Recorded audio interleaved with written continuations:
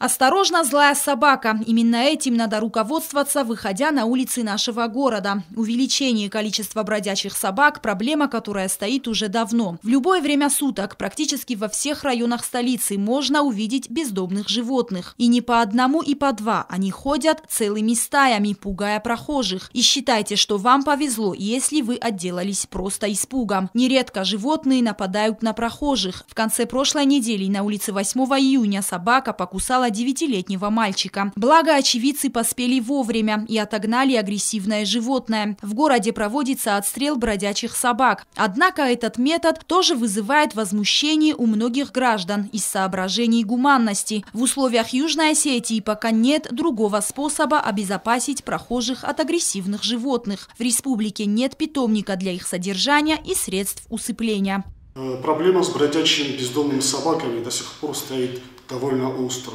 Хотя управлением благоустройства города Цхинвал э, по сей день выполняется работа по их отстрелу. Однако хочу отметить, что таких собак в городе развилось столь много, что мы как бы не хотели, э, не в силах выставить сотрудников в каждом районе города для быстрого решения задачи.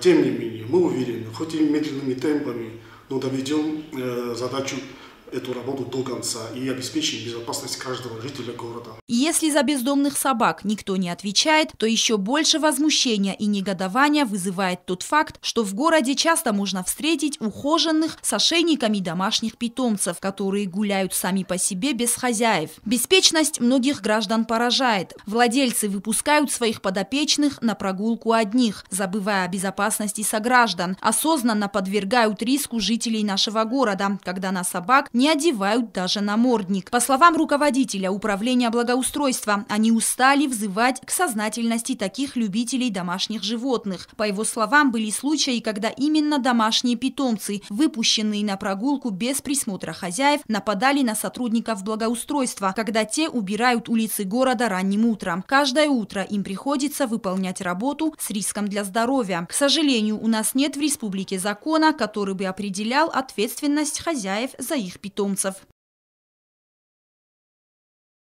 Роза Тедеева, Рауль Кочиев, Геннадий Мамитов. Информационный выпуск сегодня.